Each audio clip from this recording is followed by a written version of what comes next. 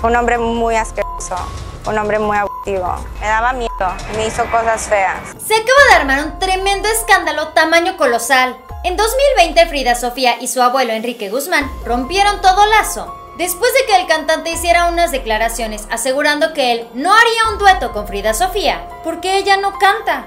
De igual manera, a Enrique Guzmán no le ha gustado nada cómo se ha expresado Frida de su madre, la cantante y rockera Alejandra Guzmán.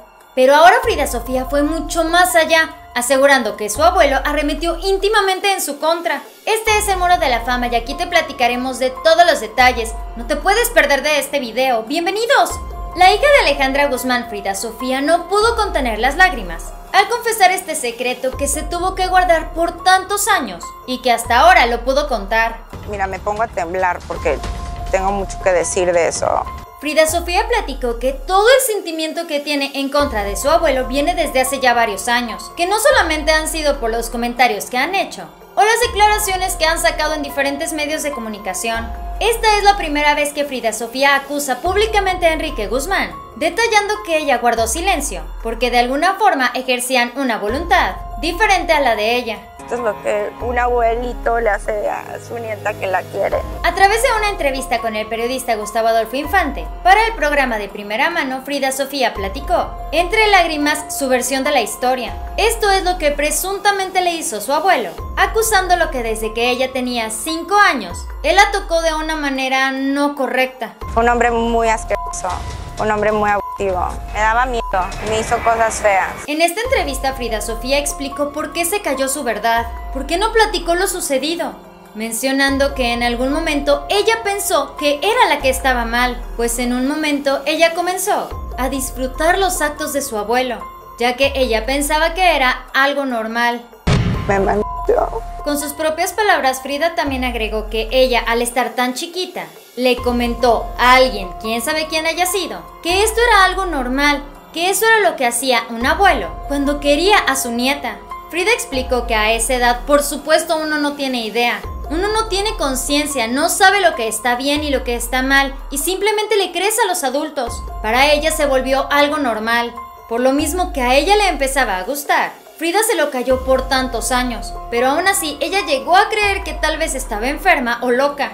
Pues en alguna vez ya se empieza a sentir rico o algo, ¿me entiendes? Porque te están tocando tus partes íntimas. Sin embargo, en esta entrevista Frida Sofía reveló aún más. Ella contó que no solamente fue arremetida íntimamente en su infancia por su abuelo Enrique Guzmán, sino también por algunas de las parejas de su propia madre Alejandra Guzmán. Gustavo Adolfo Infante le preguntó a Frida que si esto le había sucedido más de una vez. La joven cantante dijo que sí, que esto sucedía cuando su madre llevaba a diferentes tipos a los hoteles. Al parecer fueron varios hombres los que arremetieron en su contra, mientras Alejandra Guzmán aparentemente estaba dormida en el hotel. Con sus propias palabras, Frida agregó, desde los 5 hasta los 11, 12 años, varios hombres que mi mamá conocía, y en el cuarto del hotel ya cuando ella estaba dormida o inconsciente siempre me tocaban a mí. Frida Sofía también dijo que incluso Alejandra Guzmán tenía relaciones en la misma suite donde Frida estaba durmiendo. Ella explicó que no se trataba de que su mamá lo hiciera frente a ella, pero sí dijo que Alejandra Guzmán nunca cerraba la puerta, por lo que en todo el cuarto se escuchaba toda la orquesta. Para casi finalizar con su entrevista, Frida contó que ella estaba muy cansada de haberse guardado esta información por tantos años, que llegó un momento en el que ella pensó, ¿qué más puedo perder? ¿Qué puedo perder si mandas a todos bien lejos? Frida se contestó a sí misma diciendo que ni siquiera una llamada de cumpleaños iba a perder, porque ella no podía extrañar algo que nunca tuvo.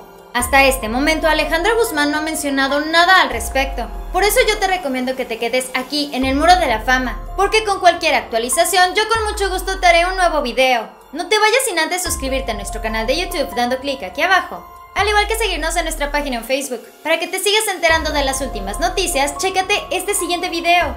Espero que tengas un excelente día, nos vemos muy pronto. Bye.